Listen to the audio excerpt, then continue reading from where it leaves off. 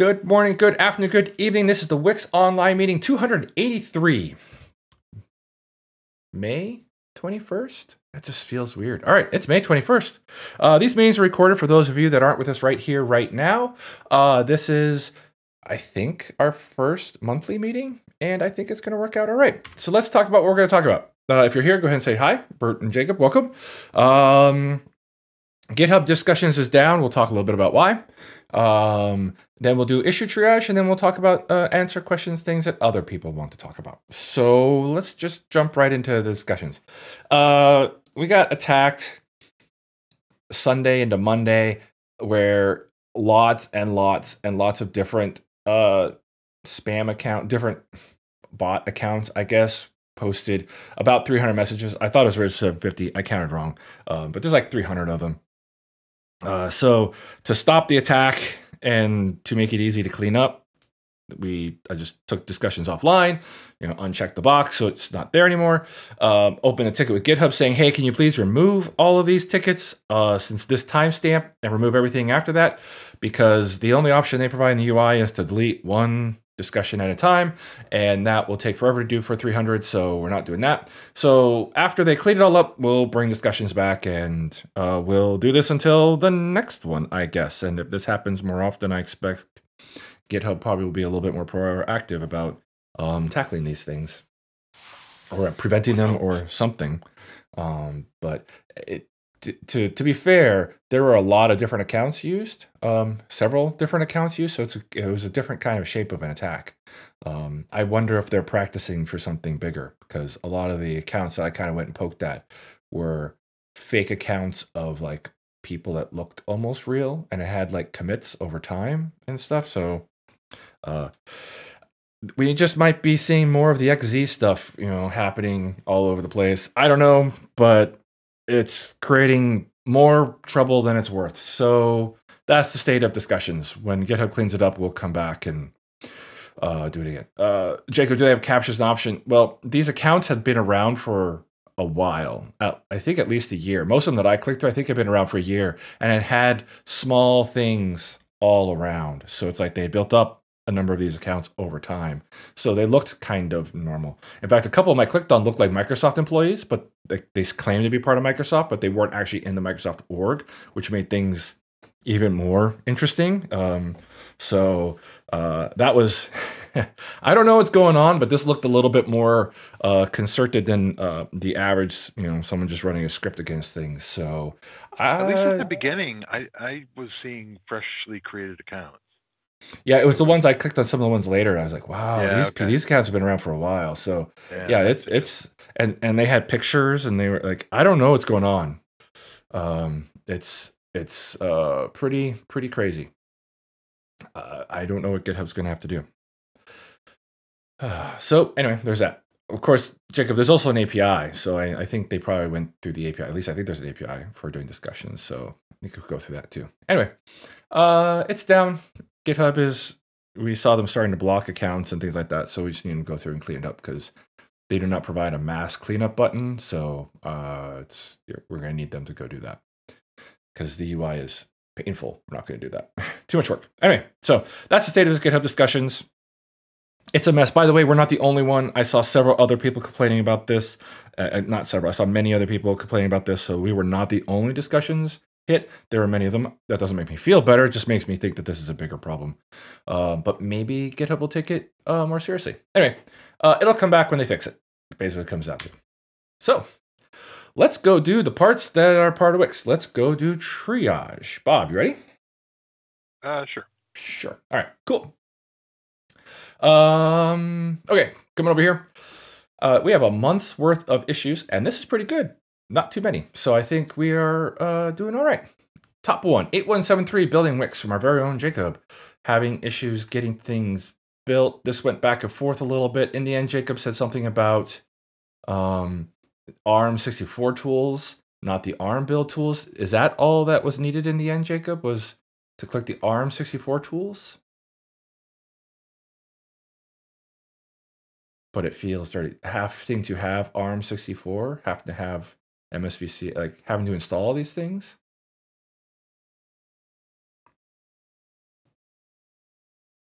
Okay. So I don't. All right. So I guess we keep this issue uh, open. I'll, it's kind of more of a discussion, but there's no discussion place to have it right now. So we'll just kind of keep uh, poking at. it. I don't know what to tell you. I just turned on the things, and it's possible we're missing something from the list. If so, we should get it added to the list. Um, but I thought that list was pretty good um, to get things building. So, all right. Uh, do we give us a Jacob and he can let us know if anything needs to be changed in the README to get things building in the end? Yeah, I like that. Jacob's here. He goes, wait, what? No, not me. Uh, but yeah, like in the end, I think it's just a matter of getting the README updated so it does the right thing. This person down here complaining, I saw that they wanted to get, they were trying to get Wix 3 building, which is like nobody cares about building Wix 3. So yeah, right. Oh, Yeah, I'm but- interested in the NuGet thing. I, I'm I'm not familiar with what that's about. Yeah, so I know. All right. I got to work with the one repo, but the one in the repo wasn't working. But when I put the same config in user local config, well, if you have a user config, you can mess up your your other configs. So that's something that's strange because I don't have a user config for that very reason because it messes with global things. Yeah, I, I delete mine, so I don't have anything that, that confuses things. So, all right. Cool. So I think the ARM64 was a big thing. Okay. I don't, that should not be necessary. So that would be something to look at.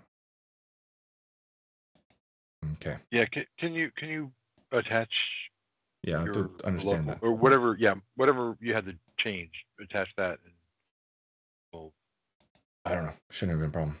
opine uh, opine on it. Yeah.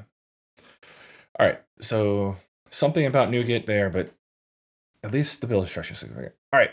Um, eight one seven eight. When Burn is installed using a service account without administrative privileges, they fail to run in untrusted mode. So something about the lockdown to prevent uh, one of the attack vectors doesn't work correctly when run through a service account. And I suppose I could kind of see that happening. Like the I'm I'm struggling with that one. The it, it it's checking for it's checking for a particular token, as I recall that check.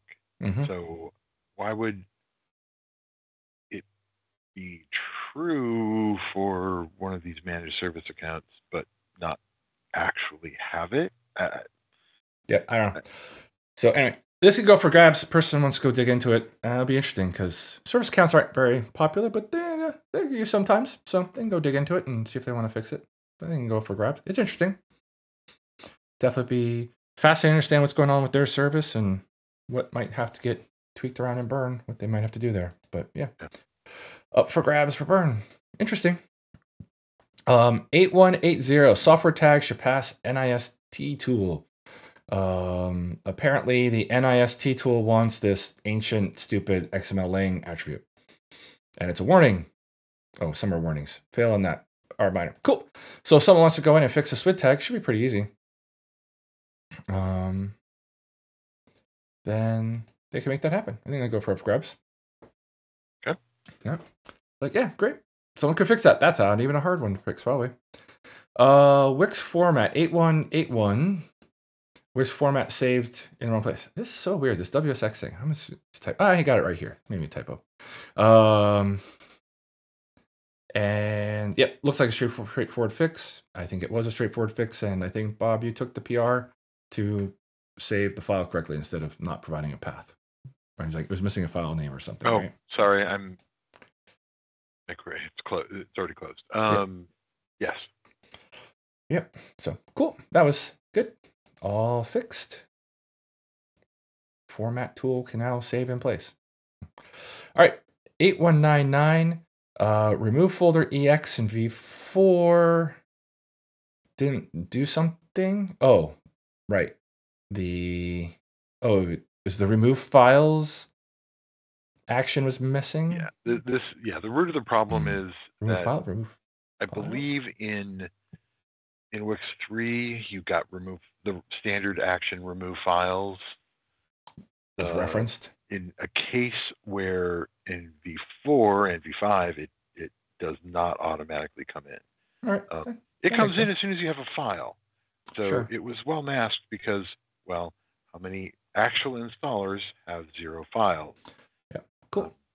There Yeah. is a bit of um, a bad log message that comes in because of the the recursion fix recently. So I will Ah. I'll, I'll take this one to Okay. clean it up a bit. All right. Sounds fine. 8205. Wix convert fails when leading tag defines encoding. That's kind of surprising. But I didn't think XDocument cared. I didn't either. But sounds like something someone could look into if they wanted. And go ahead and toss that up for grabs. It Wouldn't be that hard to jump in and look at that bug. These are like easy bugs that anybody could kind of pick up if they wanted to. It's very easy to debug and get into. Write a test for. It's all Yeah, all those convert yeah. bugs are very nice, easy bugs for people that want to hop up and the you know start getting started in Wix. 8208 parallelize update files facades command. So they have 30,000 files, Oof. 100 instance transforms. Woof. That's a lot of instance transforms. I guess if you're using instance transform, 100 to be safe. Okay, but takes an hour spent in update files commands. That's really strange. It would take that long in update file facades. I guess it's hashing. If you have a lot of un 30,000 files that are unversioned, I guess you There, would get yeah. there. If you have 30,000 files, 29,500 are not going to be versioned. Probably true. Um, waiting on the antivirus. Well, then tell your antivirus to stop s- scanning your source tree. All right. Anyway, um, so you'll get a lot of speed if you don't have your antivirus scanning your build tree, which I think is what the dev drive does for you to, by default these days. Which is very One of the nice things, Yeah. yeah. one of these. Like, yeah. Yeah. So yeah, uh, a custom version Wix where he did it in a parallel for each loop uh, resulted in a build time around nine minutes on a 12 core machine instead of an hour. Yeah, all right. Cool. I suppose we could take a look at it. Yeah, we could send the. They could send the PR for that, I guess. See what it looks like. I- Yeah, I, I agree. don't know how parallelized. Not something I ever thought would need to be parallelized since if it's hashing, it's not like it's disk IO, but maybe, I guess. Yeah, but that's the the blessing of SSDs. Yeah, it's true that they catch up fast, don't they? High throughput. Especially, yes, yeah, see, it's of gonna probably if you know, like if this is a web thing, which is where you get a lot of fast, especially if they're small files. See, that's probably what it is. It's probably lots and lots of small files, and he's just getting killed by the antivirus. So his disk I/O is is killing him. So being able to open many, many, many, many files where the hashing takes no time. I mean, yeah, it kind of makes sense. I guess we could see what it looks like and how it goes, because I mean, I, I don't know that this could be worse if you have bigger files um, on a normal drive, but I guess we could see what it looks like. Yeah, all right. We can see what it looks like. Yep. Um, 8211. Adapt to lack of V141 VC toolset on GitHub Actions. Oh, so they've removed 141. They 141 is 2000. Everything other than the so yeah, you can look at the linked bugs. The the Oh, you opened it. it's Okay. really annoying um, because you know we took a lot of grief for the fact that in weird scenarios updating wix on these images was problematic um, for vs 2022 back in the day Uh-huh.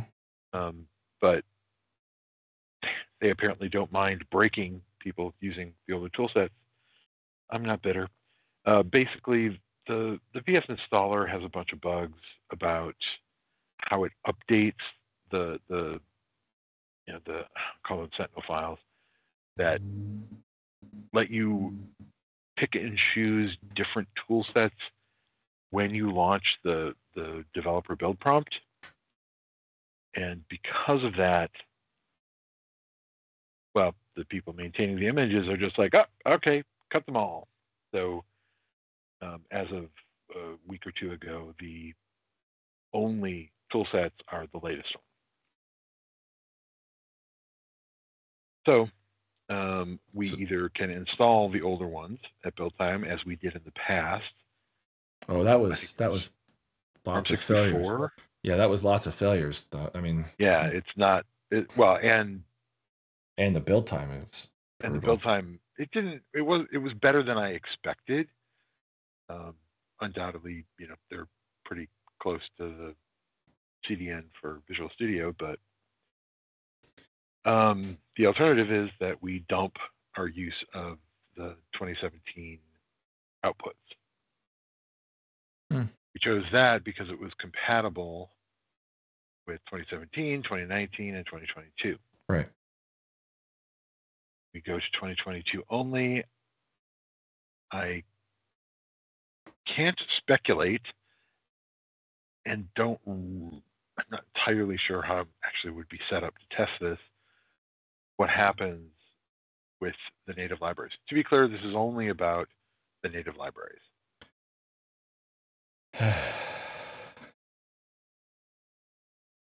The problem, the big issue is that right now we can't build Wix at all. oh, Wix just fails to build now. Yeah,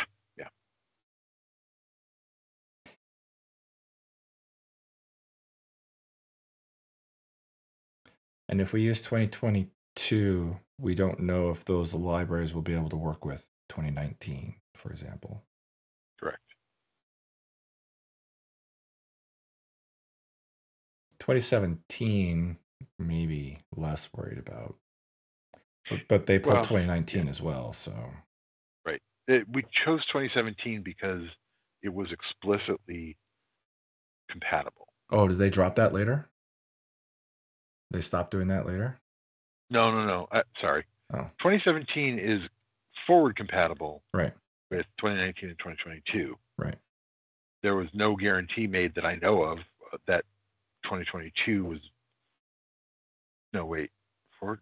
Uh, sorry, I always get those mixed up. Whatever. There's no guarantee that you can consume. Sorry, there was no guarantee made by the VC team that you could go from 2022 and consume it in 2017 or 2019. Or 2019. Yeah. And that's the problem. Yeah. Hmm. pick the lowest common denominator and it works because it was designed to. But can't do that anymore. Or we could if we install them at build time and risk blowing out the build time. And of course all the failures that can happen. Uh, interesting. And one nice thing is that, you know, thanks to NuGet, can't believe I said that. Thanks to NuGet, you can, you know, more easily reference older versions. You can mix and match DUtil, for example, you know, with whatever other. You, you, don't have to match, right? So we can say, okay, in Wix 6, you need 2022 or later. But if you need DUtil for 2017, well, Wix 5 is still available, Right. or DUtil v5 is still available. Uh, yeah, but it means we can't build Wix 5 or Wix 4 or Wix 314. Well, we can never build 314. True. We can't build 4 or 5 at this point You- either then. And and I actually noticed noted that at the uh, Mhm. at the bottom. Uh-huh. Mm-hmm, mm-hmm, mm-hmm. Lovely. Yeah. Everybody's just trying to make this harder on us. They do seem to hate us.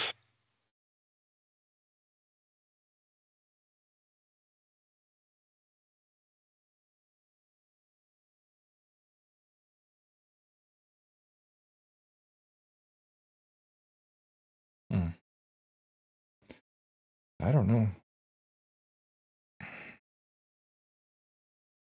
We're gonna get, I think, a lot more failures if we try to install the C runtimes. The, if we try to install stuff through Visual Studio at, at build time. That I mean, that is what happened. I see no reason why it would stop. It Would have stopped happening. Yeah, it was just. Plus, we yeah, because we also would pick up because you can't install without picking up the new features, so they end up kicking all their Right. updates as well. So you end up getting restarts and stuff inside Visual Studio. Yeah. It's really, really hard to put these tools on the machines, given the way that Visual Studio works. Yep. Which really pushes you towards, all right, I guess we're just cutting the tail. GitHub has said cut the tail. So that's what we have to do here. Well, uh, so I, I'm going to go ahead and make my suggestions, which are we should drop this approach for Wix 6. And then, I don't know. for Wi- going Okay. forward, going forward, we should not try to build an older version, given the the you know, the decree from the GitHub Actions folks. Yep. You know, it, to an extent, until we, un, until unless we give up on the Actions runners hosted builds, we kind of have to you know adapt to their their model. Yeah, it goes back to the whole maybe we should just host our own and all the problems that come with that. and all the problems that come with why, there there are no nice solutions here. No. Thank you. You no, know, everything's everything's expensive. Everything is expensive right now. it is. Um, and I'm I'm you know I'm concerned. I don't know what to do about the the four and five problems. Building Wix v4 and v5. You know, it's like well, we can't cut them off like we did like we could do going forward. Um, I mean, we could. I, we could. I don't know that I want to take that that approach, but we could do that. Yeah, we could do that. Or we could, you know, script the installation and hope that we're not doing frequently, we're not doing frequent V4 and V5 builds. Um, Uh, yeah, until we get the the Visual Studio update that comes out on that Tuesday that we need to build Yeah. on a Wednesday, and right. then we're rebooting the the agent machine. What a pain. Yep.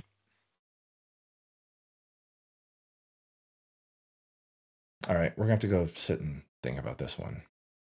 I don't know that. I don't have good ideas. I need to. I need to sit down with a piece of paper, enumerate all the options, and then Right. start going back and forth. But yeah, right. we, need there, to there are actually plenty of ideas, but they're all pretty bad. Yeah. Okay. All right. We're going to fix this. All right. Thank you very much. Very much. All right. You're welcome. 82127. Short reference for GUID variables. Oh, and GUID variables is not allowed. Ah, This all is right. just an XSD thing. This is an XSD thing. Um, if you don't want it, I'll take it. We should get this fixed. I don't know when we rolled out, but we should get that fixed. So if you don't want it, I'll take it. Hey, there we go.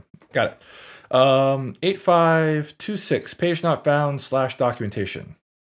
Okay.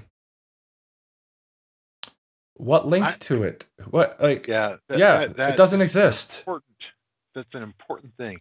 That URL hasn't worked in ages. Yeah. Okay. Let, we'll just close this. I'm not spending time. Like they didn't say where it came from. We don't care. It's like, yeah. Thanks. Next. If you told us where we linked from, then we could do something. But you didn't. So tough. Like, not a bug. Carry on. Okay. Don't care. So don't care. All right. Okay. That's the issues for today. After uh, a month, the hardest one in there is GitHub breaking us. So that will be fascinating. All right. So, with that in mind, next meeting will be a month from now. This seems to be working out okay. So, if I did my math correct, people should uh, check that. Because always is. I th- I think we basically said the third Tuesday of the month is what we're shooting for, which, if I looked correctly, is June eighteenth. Um, and uh, yeah, so that'll be a month from now. Jacob wants to talk about the cert issue. Do we have um a number for that, Jacob? Like, because then we could bring it up and talk about if you want. Oh, do we have any docs or comments on the intent? The bug is yeah, the bug is assigned. So on the intent, I mean, no, I think it's old enough that we should we we can define the intent and goal at this point. It it, it was in Wix too. Oh gosh, yeah. Oh yeah, yeah. And it didn't work back then. No, no, same thing. Oh, It's it's okay. that you know block of of commented out code. Okay.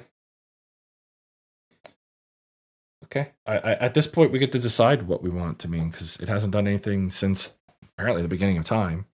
Um, I mean the only thing before that was Wix one, and I the custom actions may have existed in Wix one because that's that's really really old stuff that we were using to configure the Microsoft Office online servers way back when, like the original Watson crash reporting things and stuff like that. So, um, and nobody's changed the code since that. So we're talking 2000,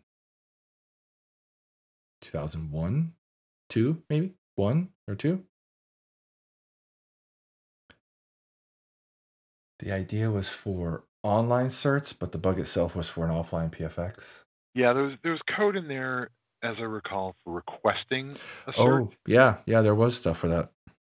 and that never happened. Yeah, I, I think that only works in really special cases, which may have been true in the Office data center way back when. I'm sure it's not now. Right. So if the spirit of the code, then the bug won't be fixed. Right. So I mean, if it shouldn't, then the the fix is to remove the overwrite feature, right? To deprecate it and then remove it, or the overwrite attribute feature, right? Because it doesn't do anything. Like that's the fix, then, right? If I understand correctly.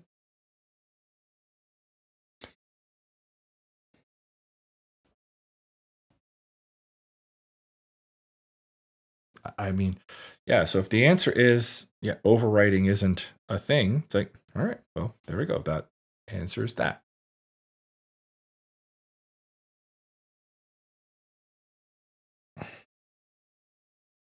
I mean, yeah, yes, that's it. Like, unless the goal is to make it implemented, like, and go, okay, here's how overriding certificates should work.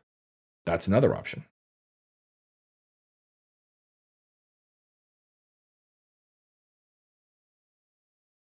But if it's not going to work ever, then be like, all right, cool. Problem solved. Well, I mean, have to deprecate the attribute and and then the XSD and then let it sit for a little bit. But I mean, at least then it'll be pretty clear where it's going.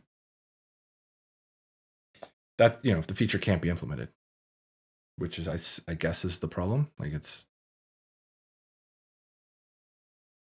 implementing an Oh, override of Yeah, that that's a split, right? It, it all stuff that leads to unimplemented features.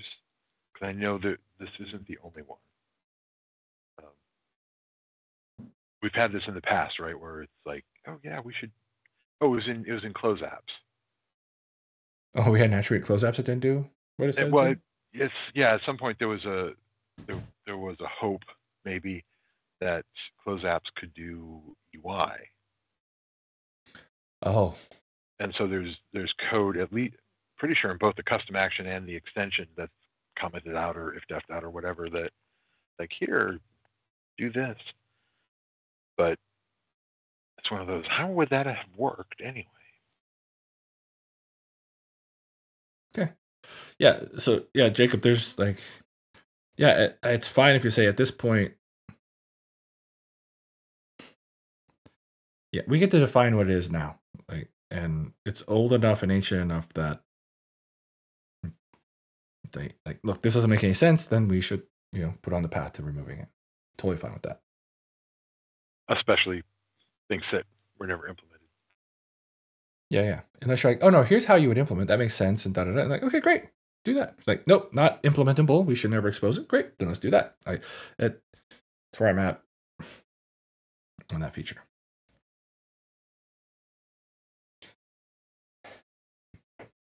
then it's just updating the compiler extension to Warn. either fail immediately or or yeah well No, we should just deprecate it. Yeah. Yeah. Just deprecate it. Be like, this doesn't work. This didn't work, doesn't work, it's going away. Don't use this attribute. And then have the XSD say the same thing. So anybody trips across it, be like, ah, oh, doesn't do what I want. Okay, it's still here for anybody that had it turned on and didn't do anything. We don't break them right away, and then at some point, yeah, it goes away.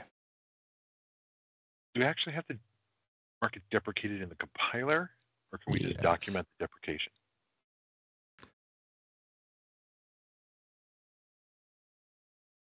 Well, usually I usually deprecate the compiler so if your code hits it, it doesn't break right out the gate. It just you start getting this warning that says, "Hey, this doesn't work anymore," or it's going away, or Well, things like that.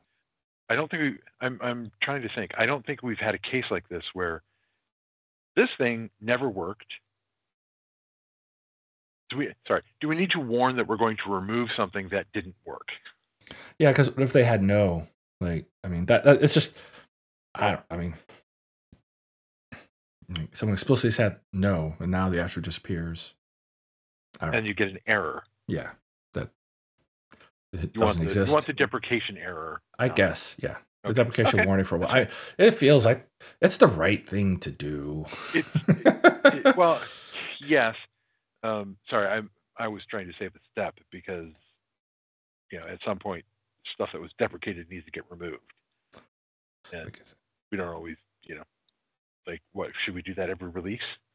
yeah, I go through and look at it. So Uh, would be a sometimes I only do it for two releases, but yeah, I mean, yeah, I went through and Okay. deleted a bunch of things in five. Not a bunch, a few, because there weren't many. That I was like, ah, I'm not going to remove Right, the four right. things yet. So Yeah. I left them, Okay. and you know, so yeah, it's like yeah, just go through and I, I look for deprecated every once in a while. Yeah, this can go. Okay, so then yeah, just Yeah. use the there are existing warnings and errors I think for deprecation There's a warning. uh, obsolescence yeah, just So look for something else that's deprecated. Be like, yeah, makes it easy to scrub.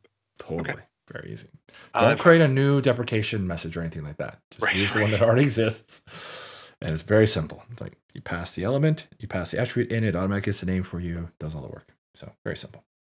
Cool. Good question. Easy. Um other things, stuff going on. People want to talk about stuff going on out there. Um, I guess I should update this slide to include the the next meeting date. Maybe I should do that. I'll do that next time if I remember. but yeah, so next meeting, questions, comments, and then put the next meeting here. Um, So because it's on the screen longer. well, yeah, and it's like this is what we're working towards. Because usually I'm like chilling out here, making sure that we get all the questions as I try to figure out what two weeks from now is. Uh, but now that's a month, I'm like, yeah, you know, it's a month. We should plan for that. Uh, easy things like that. So it's just getting to a new rhythm of things um, and stuff like that. But I don't see any other questions coming out. I think we got Jacob's um, handled. He ended up with a lot less code to write after doing lots of investigation, which is cool. Thank you for doing the investigation. And um, yeah, so we'll be back in a month. I think that's that. Anything else, Bob?